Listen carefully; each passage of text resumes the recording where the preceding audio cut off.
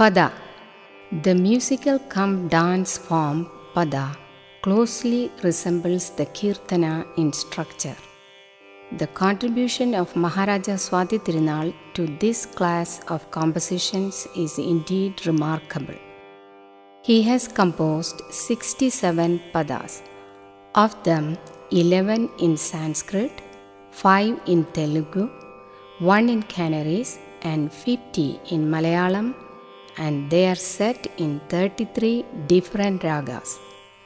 The most striking feature of Pada composition is that it depicts Antara Bhakti or inner devotion and Bahir Shringara, outer romance. The Padas are replete with sentiments of love, that is, love for deity and meant to accompany and guide dancing.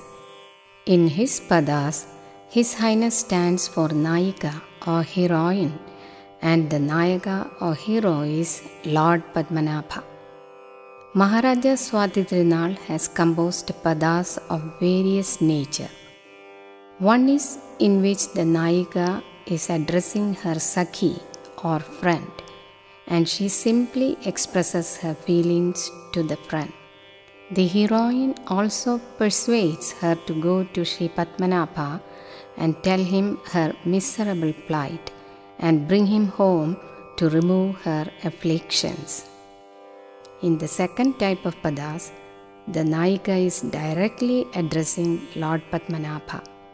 In some other padas of Swati Tirunal, the Sakhi or friend tells Lord Padmanabha about the sufferings of the heroine. Still, in other padas, the lover is directly addressing his sweetheart. The ultimate aim of the pada composition is the union of Jivatma or individual soul to Paramatma or Supreme Soul, that is, the attainment of salvation or moksha prapti. In padas, heroine is Jivatma, Lord is Paramatma, and Sakhi represents Guru or teacher who leads the Jivatma to Paramatma. Now, enjoy some of the padas of Swati Yendu എന്തു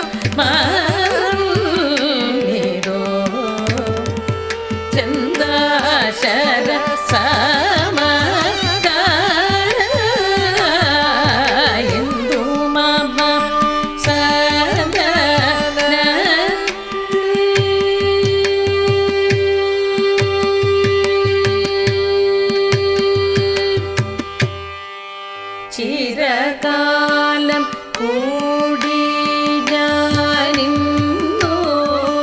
श्री